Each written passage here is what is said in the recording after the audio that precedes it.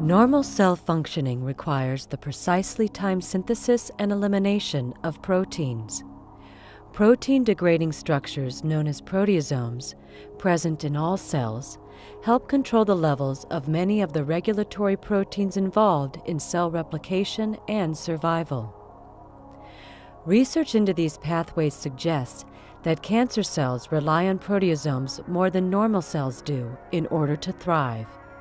Proteasome inhibition represents a compelling investigational approach to cancer therapy.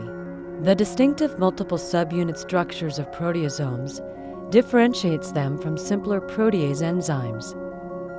Active proteolytic sites reside inside the tube. In the more highly specialized variety of proteasome, the tube is capped by regulatory structures that recognize and bind to specific target proteins and help unfold and feed them into the catalytic core. Proteasomes work in tandem with intracellular proteins called ubiquitins, which tag other proteins for processing by proteasomes. The ubiquitin proteasome pathway pervades all multicellular life. Proteasomes degrade some proteins completely and selectively cleave others into active and inactive residues. The wide range of proteins degraded or liberated by proteasomes include many that are critical to the cell cycle. These contribute to the massive biochemical signals that converge to tell a cell whether to propagate or not, go or stop. Proteasomes also influence levels of cell survival proteins.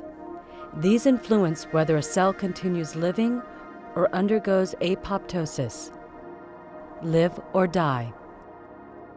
Research now suggests that in cancer cells, ubiquitination goes into overdrive, making more protein recognizable by the proteasome. This leads to increased turnover of cell cycle regulatory proteins, which include the CDK inhibitors P27 and P21, and the mitosis regulators cyclin B and securin.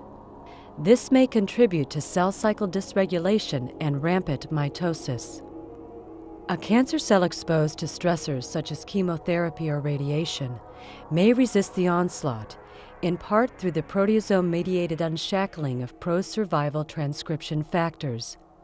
One of the best characterized of these is NF kappa B, which is ordinarily bound and inactivated by the protein I kappa B. Stress promotes the ubiquitination of this complex and accelerates its processing by proteasomes. The proteasome degrades I kappa B and liberates NF kappa B. Proteasome inhibition constitutes a novel mechanism of action that holds promise as cancer therapy. Proteasome inhibition prevents the degradation of numerous regulatory proteins. This sends a multitude of conflicting signals, many of which inhibit growth. The cancer cell cannot interpret the cacophony of signals and initiates programmed cell death. The ability of tumor cells to resist chemotherapy through the enhanced activation of nuclear factors, such as NF kappa B, may also be curtailed through the intervention of a proteasome inhibitor. With their defenses diminished, the tumor cells become more vulnerable to the effects of cytotoxic agents and more prone to apoptosis. Research suggests that cancer cells are more sensitive than normal cells to such pro apoptotic effects of proteasome inhibition. The roster of malignancies against which proteasome inhibition may be active has grown considerably as researchers continue to clarify the wide array of proteasome substrates relevant to cancer.